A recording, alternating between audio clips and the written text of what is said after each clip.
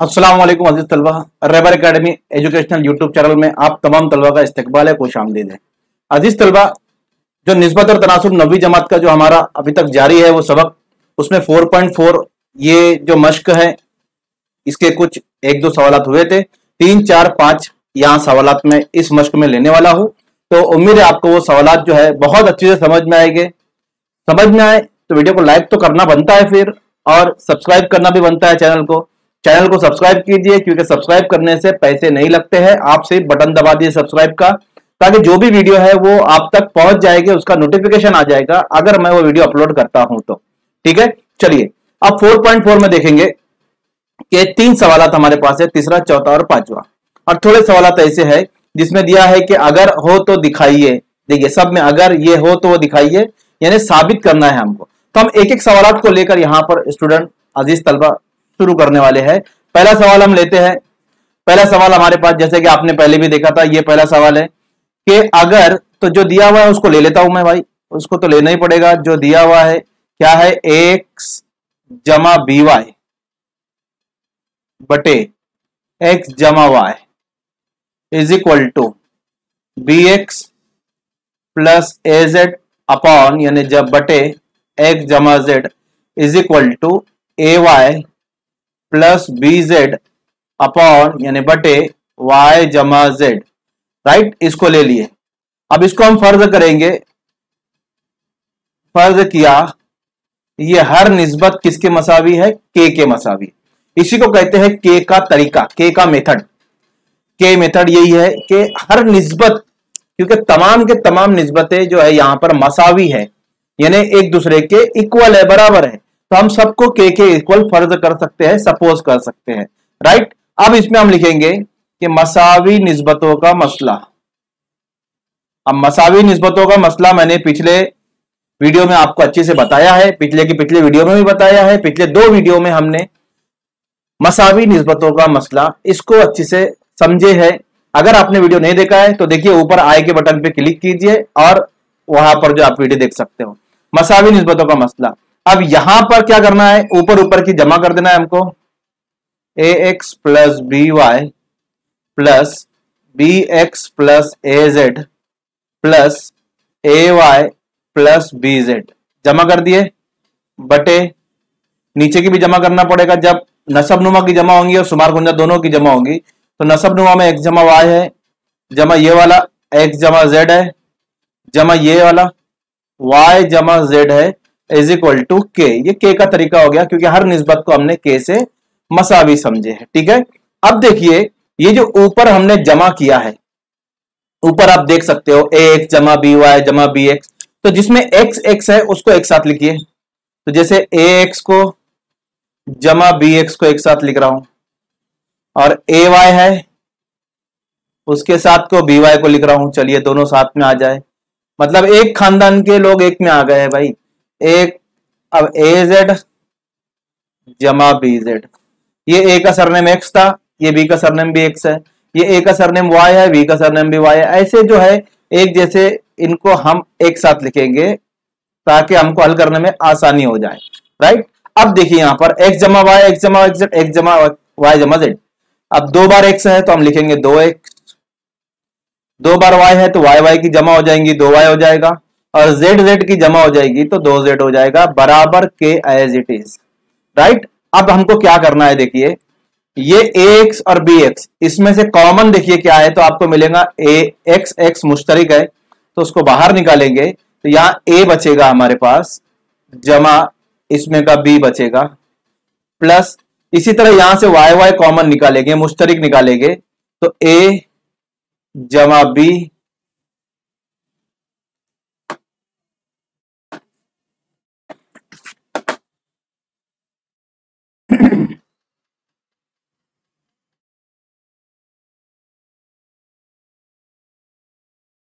तो इसी तरह यहाँ से जो कॉमन निकलेगा वो z निकलेगा और कॉस में बचेगा a जमा बी देखिए, यहाँ से a निकला तो ये z बचा, यहाँ से b, z निकला तो b बचा। ठीक है?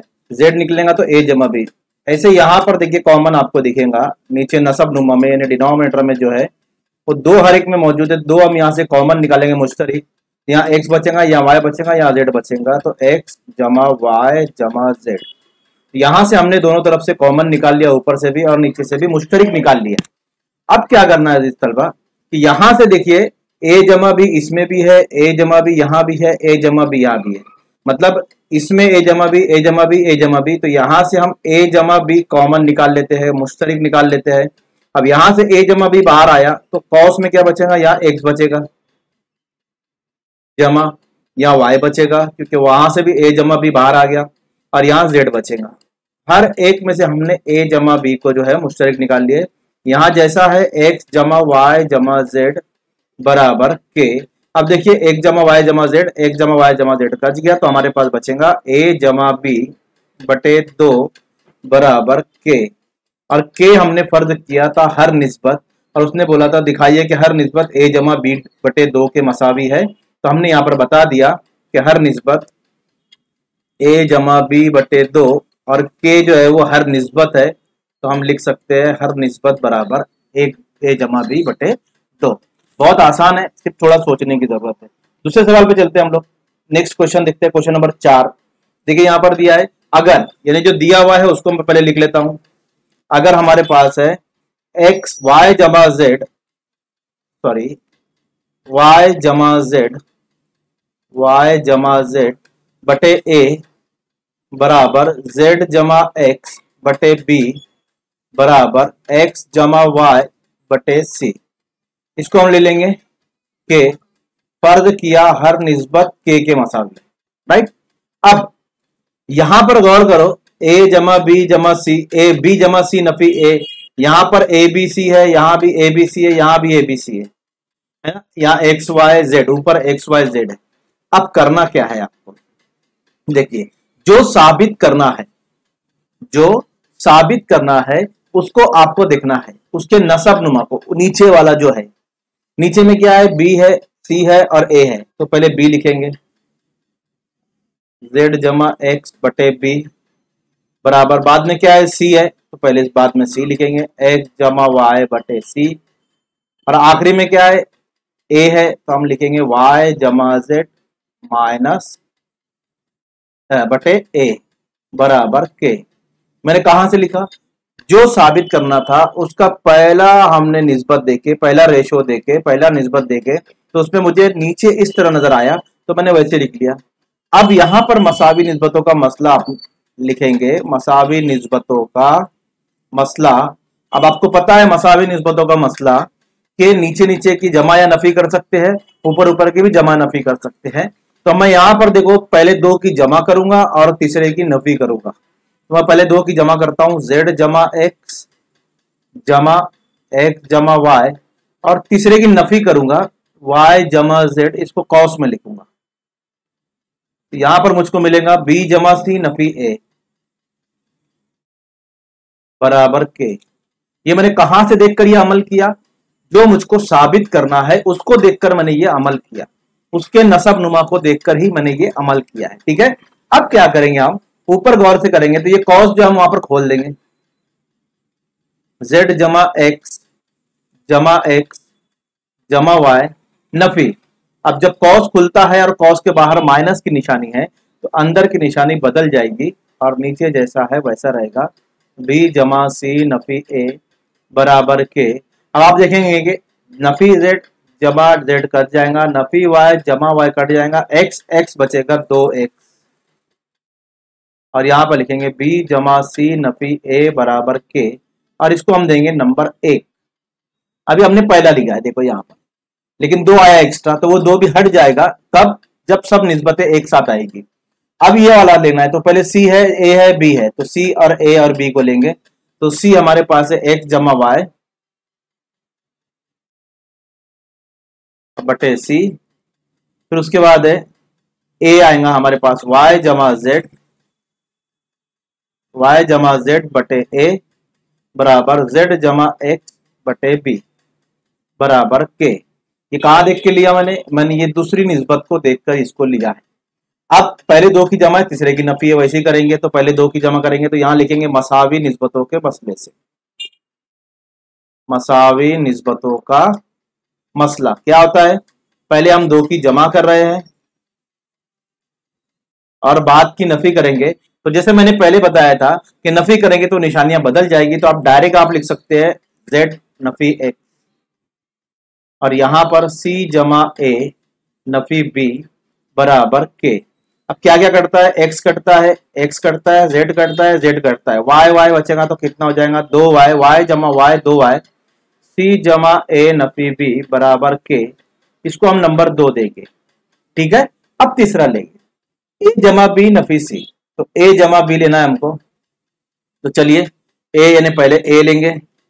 वाई जमा जेड बटे ए बराबर जेड जमा एक्स, बाद में बी लेंगे। कहाँ से देखकर? जो साबित करना है उसी को देखकर हमको लेना है। और लास्ट में हम सी लेंगे। एक्स जमा वाई बटे सी बराबर के। ठीक है? इसमें भी हम लेंगे मसावी नस्बतों का मसला।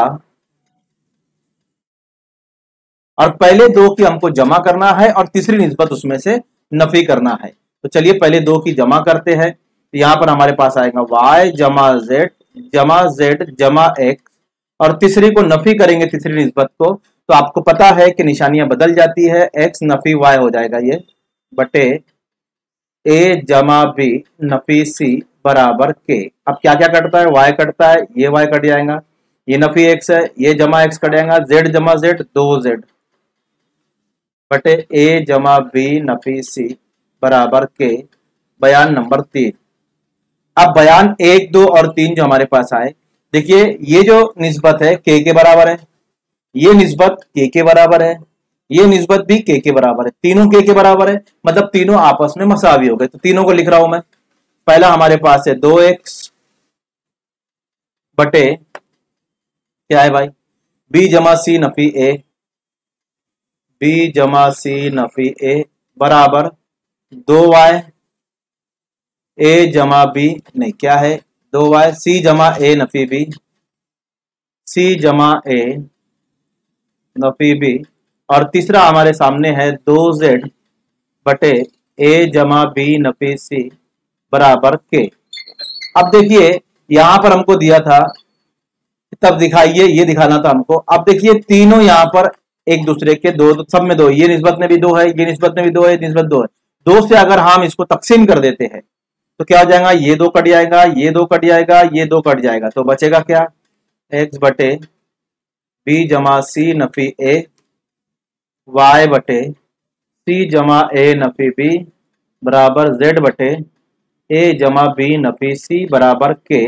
और यही हमारे पास हर निस्बत, के का मतलब होता है हर निस्बत, और इसके बाद ये आप आसानी से उतार सकते हैं। तो बहुत ही आसान है। सिर्फ़ जो सवाल में नसब नुमा है, उसको देखकर आपको निस्बतों की सूरत वैसी लिखनी है, और उसके बाद मसावी निस्बतों का मसला आपको अप्लाई करना है। ओके चलिए, उम्मीद करता हूँ आपको ये समझ में आ गया एक लास्ट क्वेश्चन हमारे पास बचा है क्वेश्चन नंबर पाँच। अब इसको देखेंगे हम किस तरह करेंगे कि अगर इसको मैं लिख लेता हूँ। तीन एक्स नफी पाँच वाई बटे पाँच जेड जमा तीन वाई बराबर एक्स जमा पाँच जेड वाई नफी पाँच एक्स बराबर वाई नफी जेड एक्स नफी जेड बराबर के फ़र्ज़ किया। चलो इसको फ़र्ज़ कर लिया मैंने। अब बच्चों आपको करना क्या है? आपको हर निस्बत एक्स बटे वाई के मसावी बताना है। अब गौर करेंगे, ये निस्बत ये निस्बत ये निस्बत में। ये निस्बत में तीन है तीन है, पाँच है पाँच है। इसमें तीन नहीं है, पाँच है पाँच है।